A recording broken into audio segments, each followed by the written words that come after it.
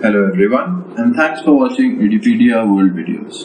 In this video we'll talk about a special type of material called dielectrics and these materials are often used to increase the capacitance of a capacitor. So first let's look at a little bit of what we saw in the previous video. Whenever we have an insulator, let's take a rectangular slab of an insulator and we put it inside an electric field E. This is true for conductors as well. Conductors it happens to an ideal degree, insulators it happens to an imperfect degree. If we put this insulator or this dielectric in an electric field E, then there will be some charges induced on the surface of this dielectric. So generally molecules are have a certain dipole moment and molecules with a dipole moment are called polar molecules. And polar molecules would be represented like this minus plus minus plus minus plus minus plus. So each of these molecules has a dipole moment P and remember we've talked about dipole moment before and the direction of dipole moment is from negative to positive. Now we saw in electrostatics that whenever we have a dipole and it is kept in a uniform electric field, it will experience a torque which will try to align it parallel to the electric field. Given enough time, all these dipoles will actually be arranged in the direction of the electric field. So initially they were all random, finally these would not be there, they would be tilted. And finally most of the molecules would be something like this. Minus plus. Minus plus. Minus plus now you might be wondering what about molecules which do not have a dipole moment so consider something like this if you have a molecule, let's say a molecule like this, which does not have any dipole moment, and you keep it in an electric field, every molecule contains protons, neutrons, and electrons. And protons are positively charged and electrons are negatively charged. So what happens is the protons might move slightly towards the right, the movement is quite small, and the electrons will move towards the left, and that movement will be somewhat larger because electrons are more mobile. So it will create a positive charge at this end and a negative charge at this end. Now this molecule was initially completely uh, non-polar to begin with. Non-polar molecule meaning it did not have a dipole moment. But even non-polar molecules, when kept in an electric field, end up having a dipole moment simply because of the effect of the electric field. And this dipole moment is called induced dipole moment.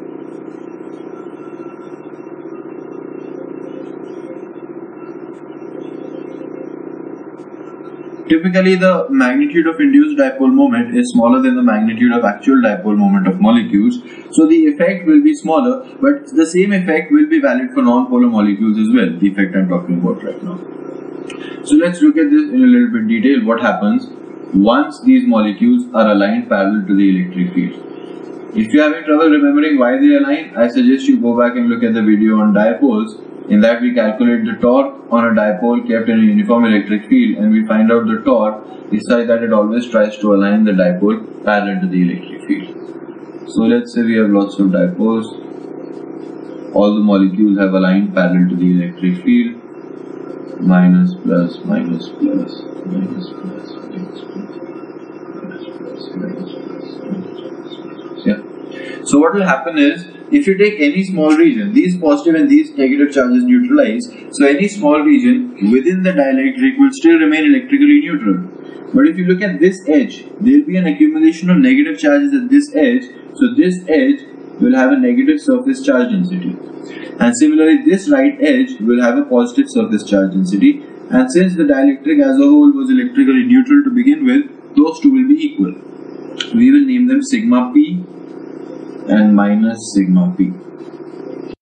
Uh, sigma p is called P because it is due to the polarization but generally whenever you have charges accumulating on a surface as a result of putting a dielectric in an electric field the charges are called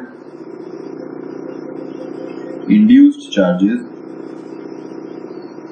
you can see a, a, similar terminology. Induced means it was not already there, but because we put the material in, ele- in an electric field, the electric field made this happen. They are also sometimes called bound charges. And these charges will create an electric field in the opposite direction. The negative charges will create an electric field towards them, the positive charges will create an electric field away from them. And what will happen is if the material is perfectly conducting, then this because there is uh, no uh, in uh, no limitation on the number of free charges available in a conductor, this just process will keep on happening until this electric field towards the left side matches the magnitude of the electric field towards the right side which was outside. And so the net electric field inside the conductor will be zero. What happens in dielectrics is they're not perfect conductors, so there will be a surface charge density, but it will not be enough to neutralize this electric field completely. So, so if I draw this dielectric here again, Within the dielectric, there is an electric field E towards the right. And if it was a conductor, there would have been an electric field E towards the left, which would have been the induced electric field due to these induced charges. But if it's not a conductor but a dielectric, there will be a field, but it will be smaller in magnitude than the original field. Let's call it EP, right? Electric field due to polarization.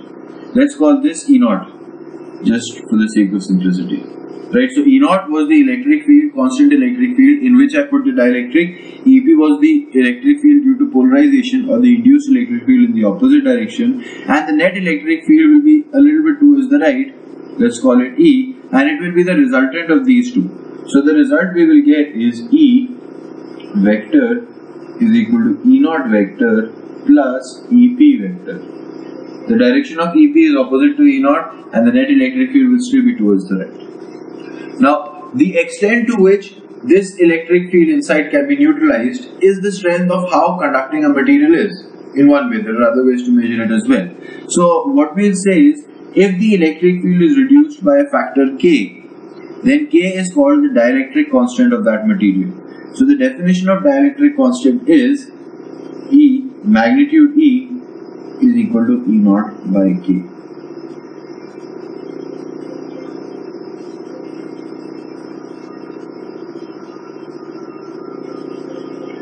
Yeah. Uh, obviously, uh, K is 1 for air or vacuum and K is infinity for conductors. Because if we don't put anything here, then EP will simply be 0 and E will be equal to E naught. There will be no neutralizing field in the opposite direction. That means K is 1. If there, if it is a conductor, then E will be equal to 0 because EP will be equal and opposite to E naught. If E is 0, that means K is infinity. So the higher the dielectric constant of a material, the closer it is to a conductor. Now there's another quantity which is of interest when we talk about dielectrics in an electric field and that quantity is called polarization.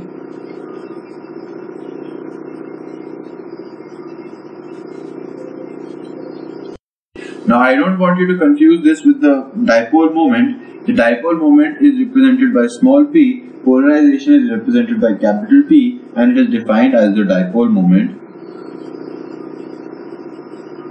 per unit volume.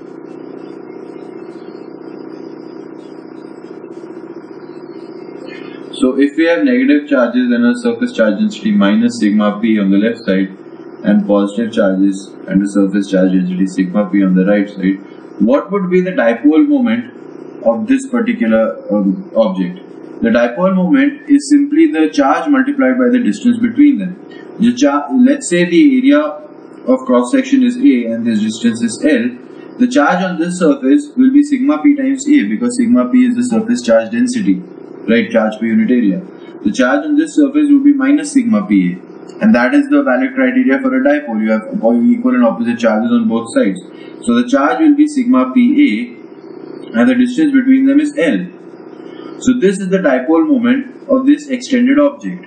What is the volume of this object? A times L. So if you divide by the volume, what you left with is sigma P. And we get a nice result that the polarization or dipole moment per unit volume has a magnitude which is equal to the induced surface charge density. So let's look at what happens when we insert a dielectric into a capacitor. Again, as usual, we'll be dealing with parallel plate capacitors. So we have a parallel plate capacitor, this side has a charge Q, this side has a charge minus Q, and we insert a dielectric in between it and I'm just showing a gap for the sake of convenience, actually we'll assume that the width of the dielectric is the same as the distance between the plates of the capacitor. So this is the dielectric, let's say it has a dielectric constant K. So because there is uh, uh, charges equal and opposite on both sides, what will happen is there will be an electric field between these two plates. Let's say this area is A and this distance is L. The electric field between the two plates will be sigma by 2 epsilon naught due to this one and sigma by 2 epsilon naught due to this one. So the net electric field in the right E will be equal to sigma by epsilon naught. That is Q by A epsilon naught.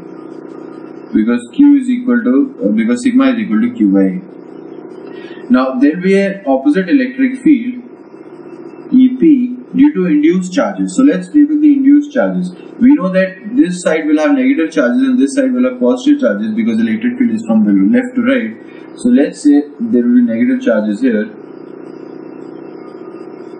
And let's say that charges, the magnitude of those charges equal minus QP. And next to the negative minus Q, we'll have a positive QP.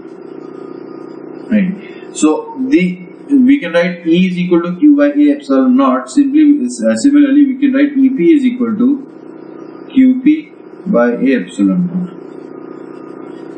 So what we will get is uh, the net electric field towards the right. This is E naught. Sorry, the net electric field towards the right E will be Q minus QP by A epsilon.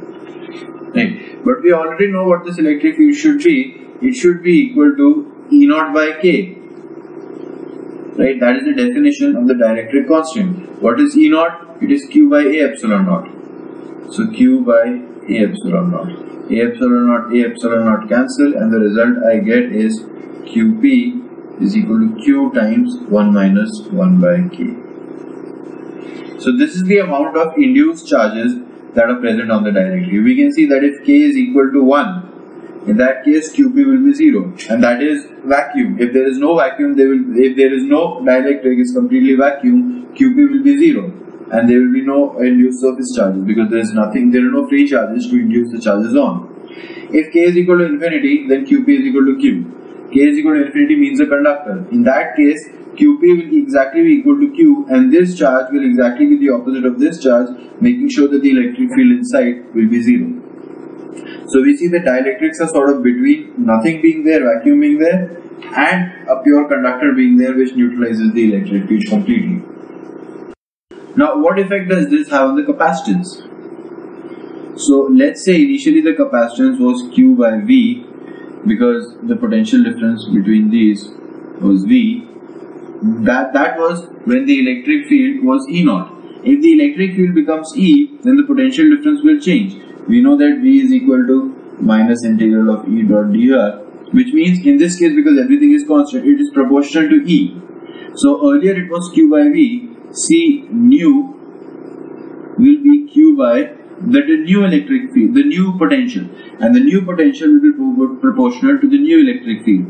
If the original electric field E naught is Q by A epsilon naught and the new electric field E is Q by A epsilon naught K that means the voltage must be reduced by a factor of k as well.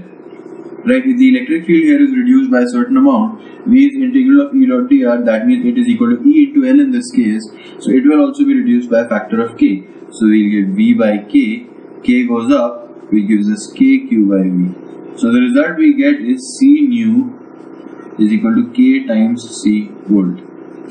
So that means if a capacitor has a certain capacitance and you introduce within that capacitor a dielectric of dielectric constant 5, then the capacitance will become 5 times of its original value. Every time we insert a dielectric into a capacitor, the capacitance, the capacitance increases by the amount of the dielectric constant. If the dielectric constant is 12, then the capacitance will be 12 times its original value. So this is a this is where we see one of the uses of dielectrics. We know that capacitors are generally used to store energy, and the energy stored in a capacitor is proportional to half CV square. It is half CV square actually. The energy density is proportional to this. And if we can just simply insert a material into the capacitor to increase its capacitance, then we can increase the amount of energy stored in that capacitor. So it is a much more efficient capacitor in that sense. Now one important thing here is that we assume the dielectric had the width equal to the distance between the plates. So this region was pretty much negligible. However, if that is not true, then it will be easy enough. So I'll take two cases and you'll just understand all the problems from these two cases. Let's say these are my parallel plates, Q1 minus Q, and I insert a dielectric with a width half of the distance between the capacitors. So this half is dielectric of dielectric constant K, this half is K is equal to 1 because it's vacuum. What will be the new capacitance? So that's easy enough because of this charge there will be some induced charges here which will result in some induced charges here and what you can do is you can assume that these are two capacitors which are kept in series so this is one capacitor which is kept in series with another capacitor so you calculate the capacitance of the first capacitor you calculate the capacitance of the second capacitor and because they are kept in series you can use the standard series formula you could also have a case like this in which these are your parallel plates and instead of the dielectric covering the whole area, the dielectric covers the upper or the lower part. In that case again you can treat it as two capacitors. This is the first capacitor and this is the second capacitor and both these capacitors have the same potential difference between them because they might be connected to a battery. So you can just assume this to be two separate capacitors which are in parallel. So one of them will have a, for example, if the total capacitance was C, this will be C by 2, this will be C by 2. When you insert a dielectric of dielectric constant K, this becomes KC by 2. And then you can simply add them up because in parallel for capacitors, you can add it. So the net capacitance will be C by 2 times 1 plus K. If K was 1, it would still be C. If K is more than 1, it will be more than C. Right? So this is how you can calculate the capacitance of different capacitors when dielectrics in different combinations are inserted inside them. This concept of dielectrics also allows us to see an alternative form of Gauss law which is quite important.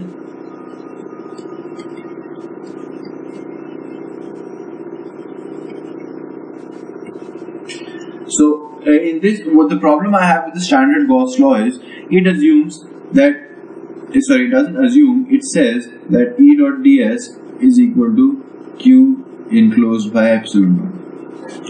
Now the problem is Q enclosed is generally quite a difficult quantity to find out. For example, if these are my capacitors and I insert a plate between them, I, I apologize for the figure. And if this is my Gaussian surface, then Q enclosed will inclu include this surface charge density and this induced surface charge density as well.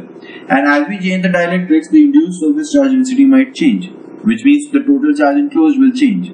So we would like, if possible, to have a Gauss law in which the right hand side does not in involve Q enclosed. It involves this Q, which is what which is what we would call from now on Q free. Q free are the free charges that are simply charges which are not bound.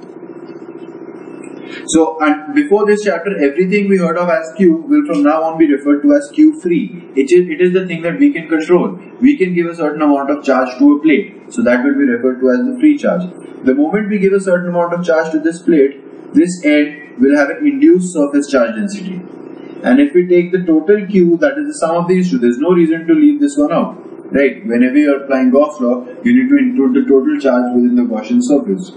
So to calculate Q enclosed every time would be quite tedious. Instead, we would like some form of Gauss law in which the answer only depends on the free charges and we are not concerned with bound charges at all. So that's what happens and that's what we need to do now. So, so let's say I'll go back to my original question. This is my capacitor. I've inserted a dielectric between them. Q minus QP right let's say this is taken to be the Gaussian surface right so what will happen is the electric field here will be in this direction the electric field here will be, will be in this direction and we'll apply Gauss law to this surface actually in this case what would be easier would be because this elect to calculate the electric field on this side we would have to calculate the charges on every side instead what we can do is because every surface actually is not a surface it is a three-dimensional object we can include the thickness of these parallel plate capacitors and the Gaussian surface can actually terminate within the conductor because we know the electric field there is zero. So this is a sort of trick we've done in choosing the Gaussian surface. We could have chosen that Gaussian surface as well and the answer would have come the same. I suggest you try it at home if you want. So this is the Gaussian surface we'll choose. Right. So the electric field on this side is zero. The electric field here is towards the right. So to, through, through the bottom and the top, the electric the electric flux will be zero. The only electric flux will be through this area, and that we can call as E times A, if E is the electric field here. That is equal to Q by epsilon naught. But Q is the total charge, that is Q minus QP by epsilon naught. Right? We know that QP is equal to Q times 1 minus 1 by K. So if you put that in this equation, Q minus QP will be Q by K. So what I'll get is E into A is equal to Q by Epsilon. Now remember, Q minus QP is the total charge enclosed. Q is only the free charge, the charge which I control. I do not control the bound charges. They respond to the free charges. The free charges are what I control. And if you take K towards the right, you get another form of Gauss law. And I write it in the proper form this time. Integral of K times E dot ds is equal to Q free by epsilon. The original form of Gauss law was integral of E dot ds is equal to Q total by epsilon naught. Q total means Q minus QP. Now we know that whenever we insert a dielectric, the charge decreases because there is an opposite induced charge. So if we decrease Q free to the actual total Q, then we have to decrease this K so that it matches the original value. That's basically what we've done. Instead of the original E dot ds, now the electric field will be smaller than the original value. So for that, we have to compensate by adding another K which is larger than 1. Right. So these are two separate forms of Gauss law. You can use either one, but whenever we're talking about dielectrics, the second one is preferred because on the RHS, all we have is the free charges, the charges which we control, the charges which we put on an object.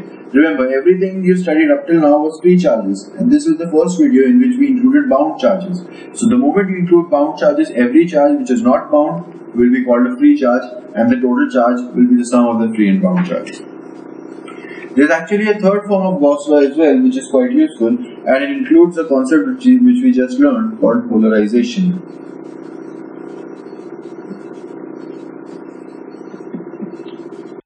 So we saw what polarization was, dipole moment per unit volume, and if this side has minus sigma, let's just call it minus sigma now, if this side has sigma, then the polarization is equal to sigma, the magnitude is equal to sigma, the direction is from negative to positive. Right. The electric field here, however, will be from positive to negative, and the magnitude of the electric field will be sigma by epsilon naught. Right. This is EP, the electric field due to polarization. So I can also write the electric field due to polarization in terms of the vector as minus P by epsilon naught minus because it's in the opposite direction and the magnitude is equal to sigma by epsilon naught and we've already proved sigma is equal to P. So what we can write from that is we know the net electric field is equal to the original electric field plus the polarization electric field. If EP is equal to minus P by epsilon naught, we can just substitute it here. E, E naught, sorry, minus P by epsilon naught. Uh, just a little bit of rearrangement and we get epsilon naught E naught is equal to epsilon naught E plus P. Now epsilon naught E plus P is a special quantity which is labeled as D and it is called the electric displacement vector.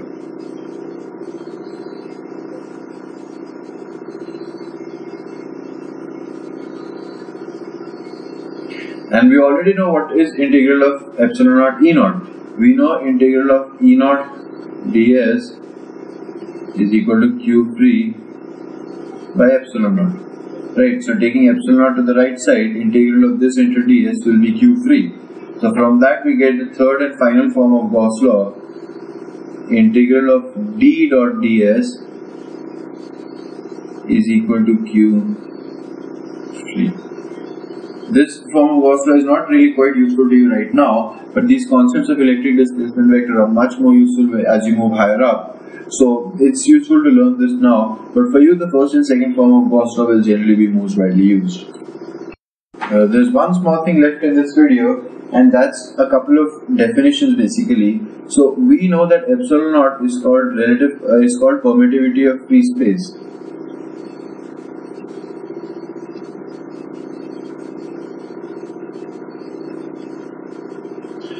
And k is dielectric constant, but it is also sometimes called relative permittivity.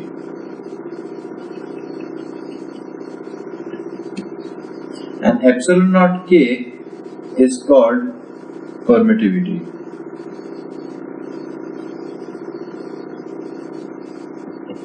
And it is labeled as epsilon. So, sorry, labeled as epsilon, there is no naught.